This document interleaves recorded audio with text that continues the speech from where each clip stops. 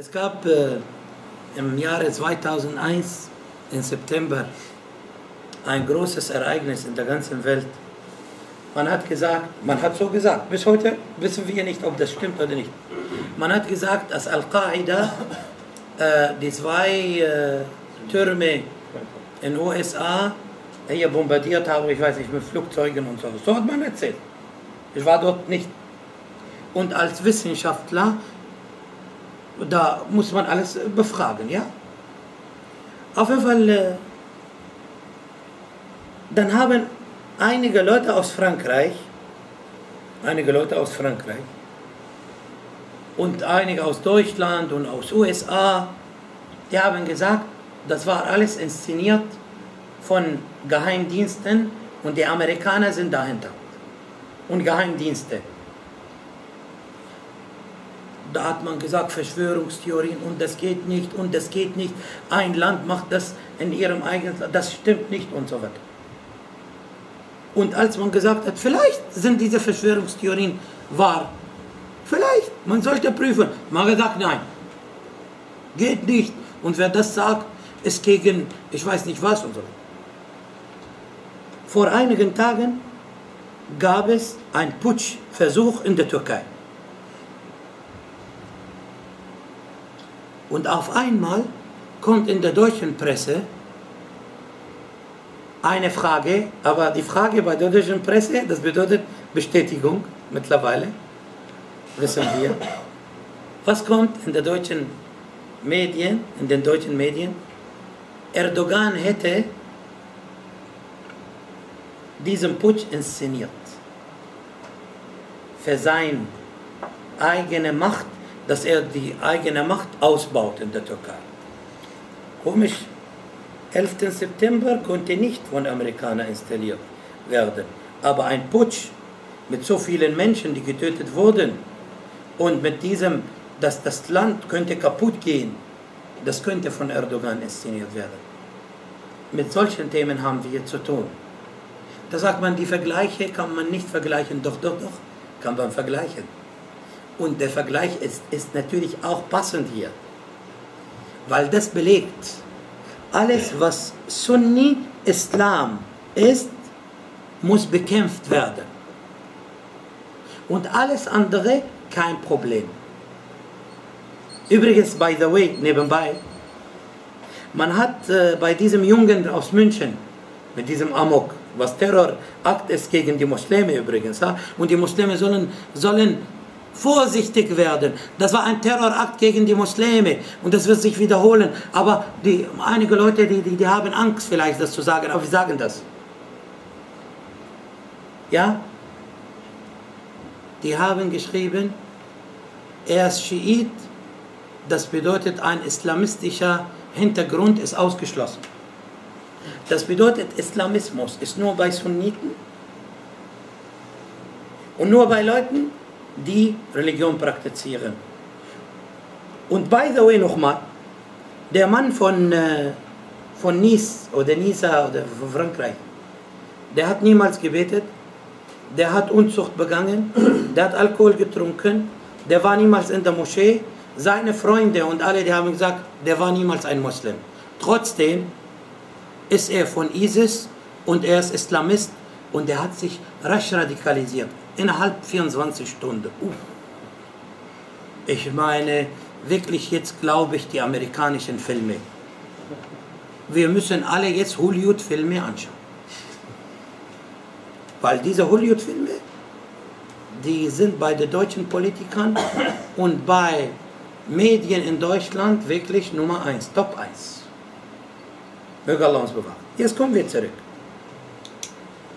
Erdogan wurde gewählt von seinem Volk. Aber übrigens, weil die Türken Muslime sind, die sind nicht Menschen erster Klasse. Die Türken sind Muslime, das bedeutet, die sind Menschen zehnter Klasse. Menschen erster Klasse sind nur Europäer. Wenn sie Demokratie haben, dann ist das Demokratie. Aber alle anderen haben keine Demokratie, wenn sie auch Muslime sind. Mursi in Ägypten wurde gewählt und das wurde gegen ihn geputscht. und die haben das gesegnet. USA und der Westen. Und jetzt Assisi wurde auch, kam nach Deutschland und er wurde empfangen. Obwohl in den Gesetzen und in den Paragraphen von UNO der Präsident, der, der durch einen Putsch an die Macht kommt, wird nicht anerkannt und die müssen Sanktionen gegen ihn verhängen. Aber nein, kein Problem. Mursi war Moslem, Sunni, deshalb kein Problem. Jetzt Erdogan ist ein Moslem und Sunni. Und er sagt, ich bin Moslem und wir sind Türken, Muslime.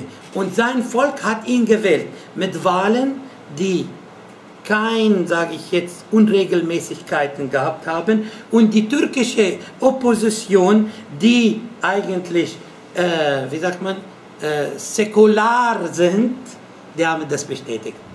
Da wollte die Armee, eine Gruppe von Armee, natürlich mit Unterstützung von CIA und von Geheimdiensten aus Europa, die wollten Erdogan putschen und wegmachen. Aber das hat nicht geklappt. Das türkische Volk ging auf der Straße, Wallahi, ich habe Respekt vor diesem Volk. Respekt. Die sind auf der Straße gegangen, die, die standen vor Panzern und die haben Hand in Hand, die haben sich Hand in Hand genommen am Flughafen. Ein Bruder war dabei, der hat mir erzählt. Hand in Hand am Flughafen.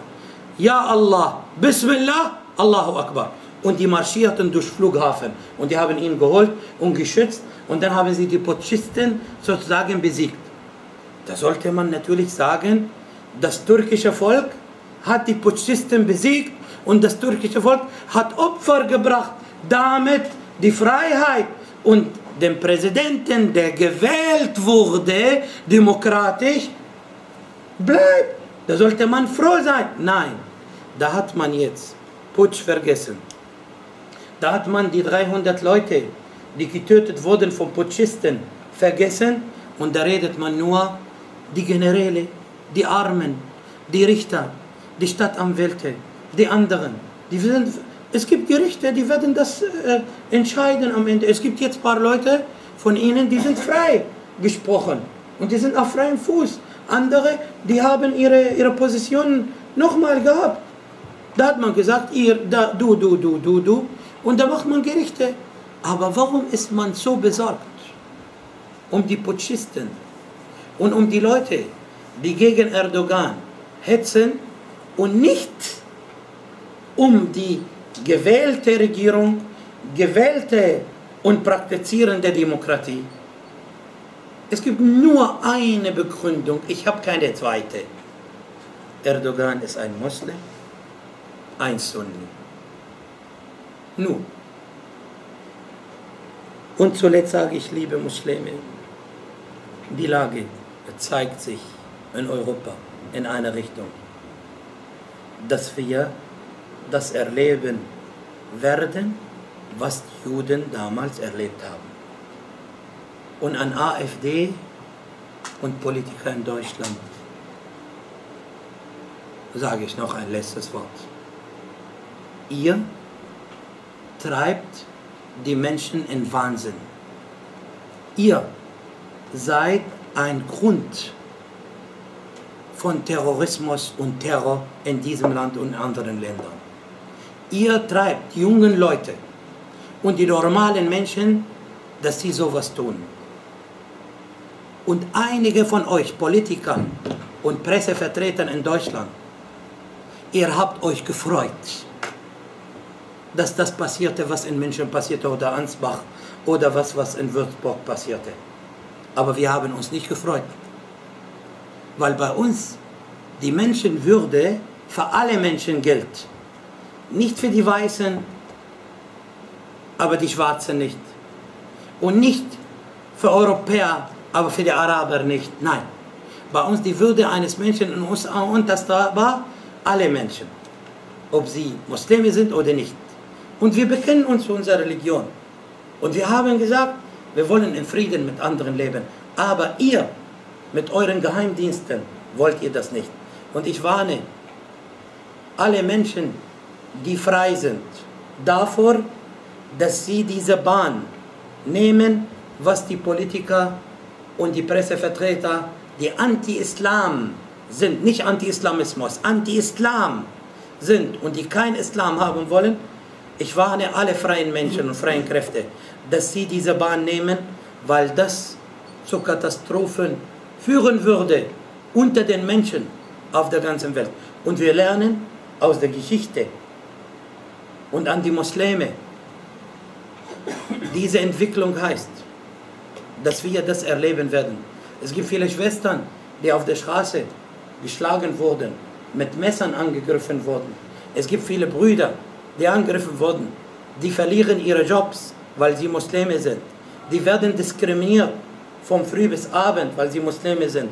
Wenn die Polizei einige Leute sozusagen kontrollieren, weil sie Muslime sind, dann werden sie so, so schikaniert in Kontrollen. Ich habe das selber erlebt. Ich rede nicht jetzt von, von der Luft, weil du nun Muslim bist. Und wir sind in einer Zeit AfD, wir sind in einer Zeit Pegida, eine Zeit Legida, eine Zeit Menschen, die die Fähigkeit nicht haben, mit anderen Menschen zu leben. Das ist meine Meinung zu diesen Sachen. Und ich sage, ein Grund, dass wir diese Probleme haben, ist diese Hetze, die von Politikern und von, nicht allen nochmal, wir verallgemeinern nicht, von Politikern und von Pressevertretern. Und diese Leute, Pressevertreter und Politiker, sind die Letzten, die von Menschenwürde, Menschenrechten und von Barmherzigkeit reden sollen oder Gerechtigkeit. Und das Letzte, bei uns im Islam gibt es eine Regel. Jeder ist verantwortlich für seine Taten und für seine Worte. Ich bin verantwortlich für meine Taten, für meine Worte. Aber ich bin nicht verantwortlich für die Taten von anderen und für ihre Worte. Außer dass ich das vertrete. Aber komischerweise werden wir über einen Kamm geschert, alle, weil irgendeiner was gesagt hat. Dann müssen wir alle dafür sozusagen bestraft werden oder wir müssen büßen für die Aussagen und Taten von anderen Leuten. Ist das die Menschlichkeit? Ist das die Gerechtigkeit? Möge Allah uns bewahren und möge Allah uns festigen auf dem richtigen Weg des Islam. Und Alhamdulillah, wir leben, wir leben besser als andere Leute. Wir haben zum Essen, wir haben zum Trinken. Es gibt manche Leute, die haben nicht zum Essen, nicht zum Trinken. Möge Allah subhanahu wa ihnen helfen es ist Schande genug für die ganze Welt, dass man sieht, wie die Kinder und die Frauen getötet werden und bombardiert werden und keiner macht was.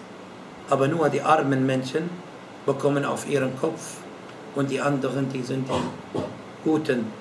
Was wir hier erleben, ist ein Sprichwort bei uns.